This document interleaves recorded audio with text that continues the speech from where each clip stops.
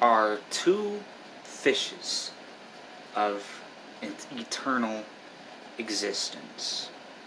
And these two fishes have always battled. They, one's a great warrior and one's a great philosopher. Two completely opposite ideas. And two different completely opposite ideas is that one is yin, which is the the sun or the reflection of the sun off the trees and the buildings. And the second one is the shadow underneath the trees and underneath the buildings. And they have always fought for eternity.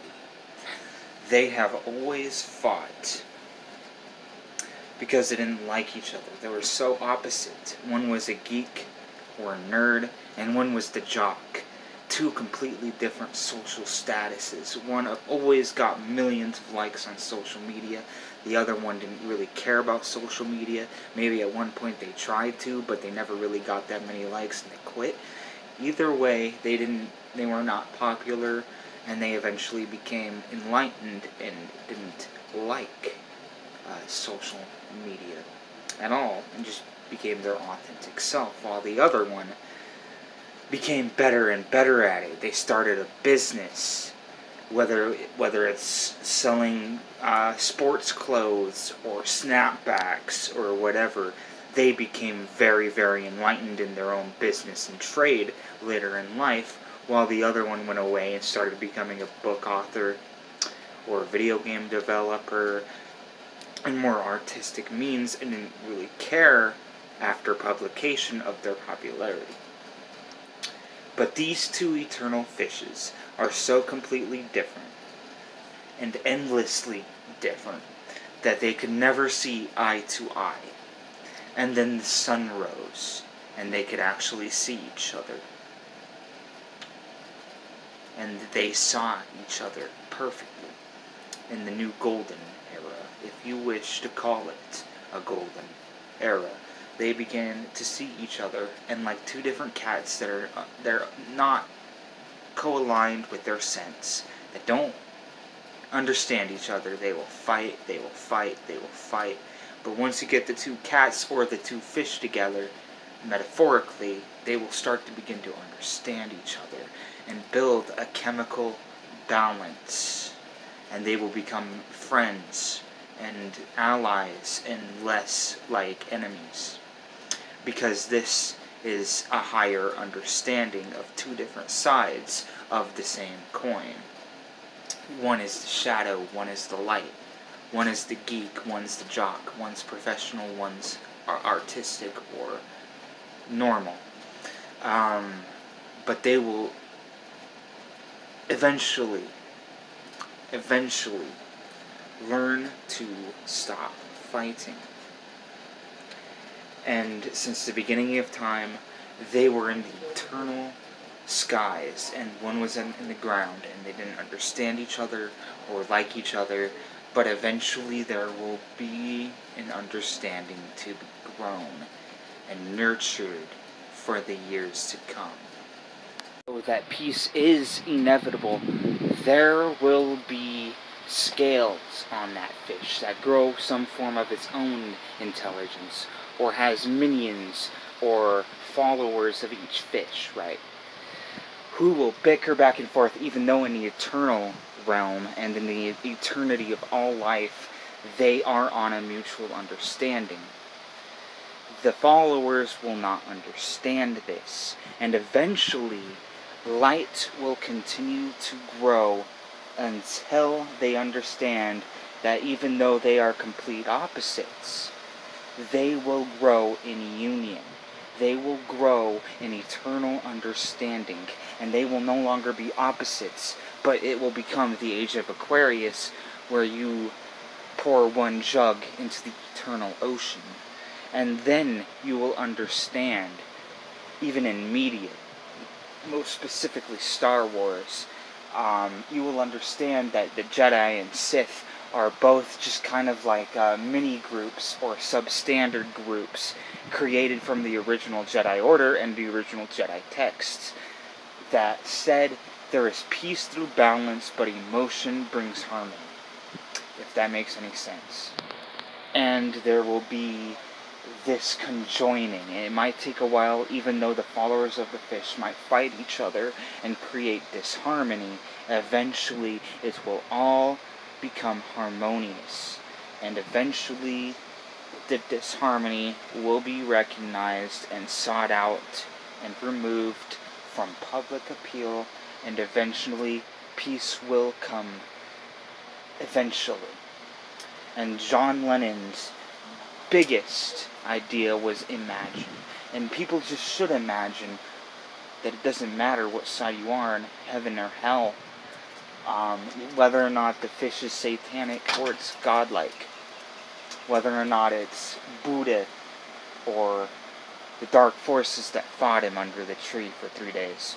Eventually, there will be an understanding as an all duality will be assimilated into an eternal oneness and these is what this is what happening is happening to the fish. The two eternal fish, eternally right now, are becoming just that, the one fish. One fish is completely golden. It is golden like Ponyboy from the outsiders. fully, fully with a good future, with the strength in his eyes and with eternal power. And then the other fish, the misunderstood fish, can be as misunderstood as you can get. He is not any other color, he's not any color, he's just the darkest color on the, the color spectrum, pitch black. He may have perfect eyes, but he never opens them. He's misunderstood. He always hides. He has all the potential, but his anxiety mixed with the most bizarre interests completely muddle it up. And that is how it is. He is exotic to the core and highly, highly eccentric. But most of all, he is completely, and I mean completely, misunderstood by any every form of medium, any form of understanding, any form of anything. He is always the most exotic with the, even the darkest or most evil or whatever. It's just bizarre. Whatever he's into is bizarre.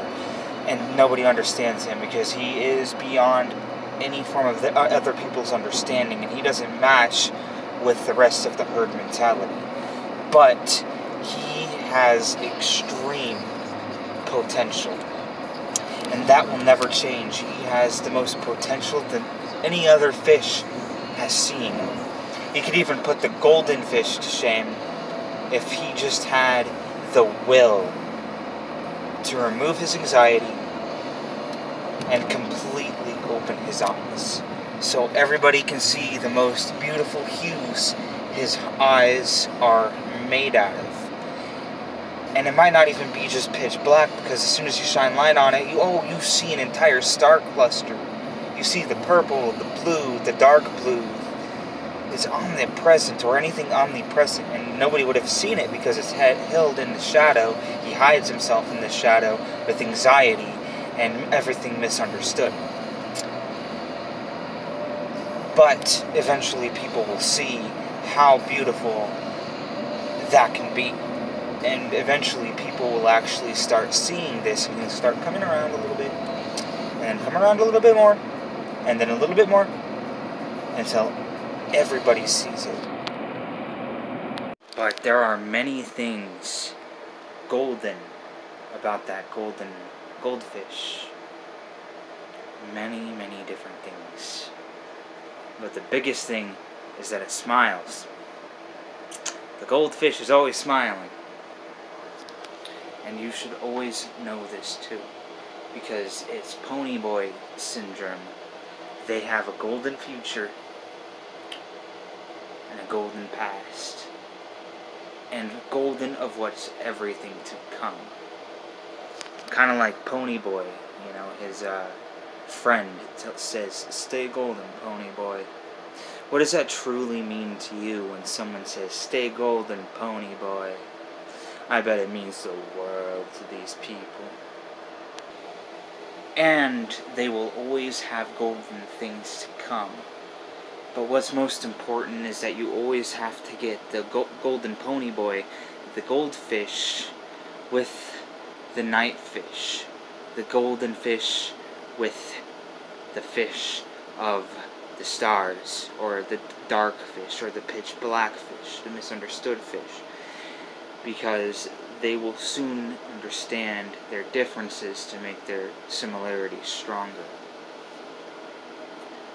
And there will be a form of balance. And that is what it's always going to be about. Is that there's a real balance. And they understand the difference. They always kind of discern and fully understand the rooted similarities and differences, kind of like a pie chart. It's very simple to understand. And the similarities start co-aligning and their differences start co-aligning in different ways is because those are two different fish. And there's a story to tell since the beginning of time of the night sky and the sun sky or the daytime daylight. And it's just really similar in structure to the old beliefs of what comes during the day and what comes during the night. Darkness always comes with the monsters. For the daylight to champion. That's always kind of the difference, and that's sort of what the thing is. And what it really is, is that there's always the story of daylight conquering monsters. Well, eventually you'll figure out that your own monster is your own shadow, and you're really blaming everything on some shadow figure that comes from yourself. And of course, the shadow is weightless. So you're only going to blame yourself every time you blame something that's evil, you're blaming yourself. You're always going to negate your problems and your internal problems for something. For some reason, you're always going to negate your problems and say, oh, well, that's my culture's evil, you know? Like in America, that'd be the devil. In, uh, in the in the outback east, it would be it would be Krampus, and he would kidnap you or kidnap your kids, it, because you know that's your evil. And we're in the Haitian Islands, well, the voodoo, you know, like the evils, spirits of voodoo. Well, technically, on some plane of existence, the voodoo loas hide within your shadow, and through your shadow, They'll hide in your chakras, they'll hide in everything, or vice versa. And they will be the, they will spark your internal problems as a form of healing process. And you will begin to understand that there's an, an insane process. And it kind of goes back to the to the two eternal fish of sky and dusk from dusk till dawn you know, one's a vampiric or werewolf-like entity in the shadows hiding, and of course, you're never going to understand it, and on their side, they're never going to understand the daylight and what makes the daylight tick.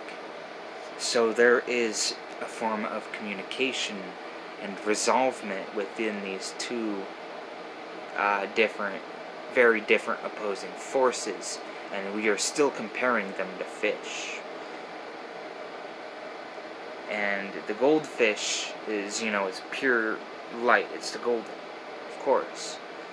But the dark fish might like stuff, but might convince other people that they're geniuses eventually. Of course, the black fish hides in pure darkness, where you understand where all creation comes to be. Before the Big Bang, and the creation of the universe, everything was in pitch darkness. until a small little light came around. And then, you know, boom. Boom, baby! Back in the light. Back into the light of solar of the sun, which is the eternal golden fish. The golden fish you see in the advertisements, smiling. Tigers crack goldfish. no, but seriously though, there's always a time for divine light to match your internal shadow, even if your internal shadow is a beast.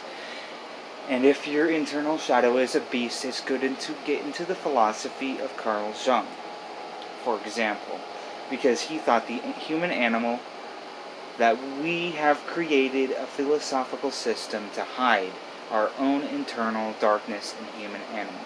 And that's always good to get into if you think you are internally your shadow, a beast, in a sense.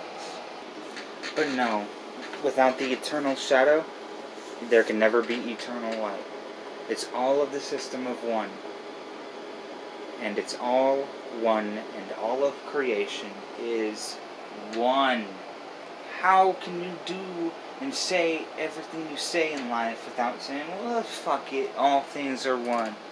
If, you know, all things are one, there's always some darkness to match the light, and in the other side of the you know, uh, metaphysically, if there's darkness that you're not aware of, vice versa.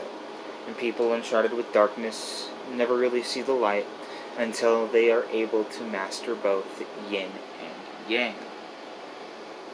And there's always, and you know, the entire idea of human conflict is that it started with the dawn of man.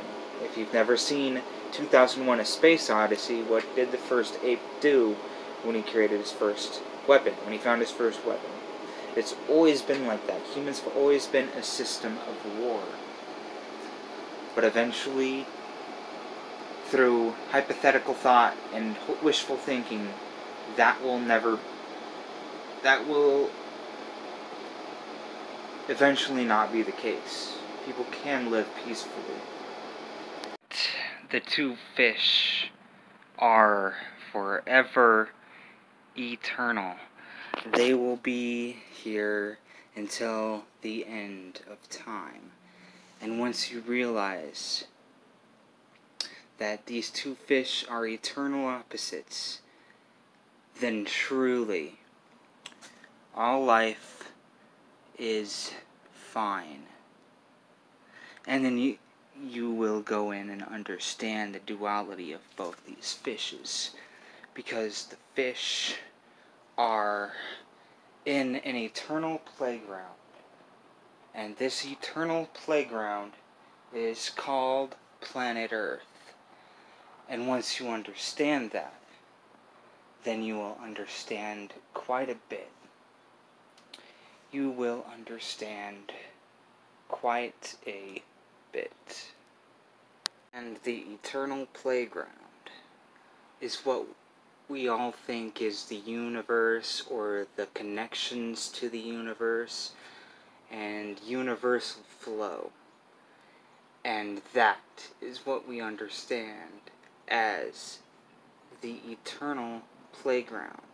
And these two fish, they're going to buddy up.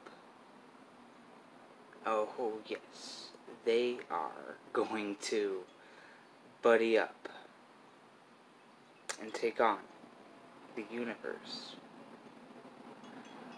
And that, my friend, is where I will be leaving.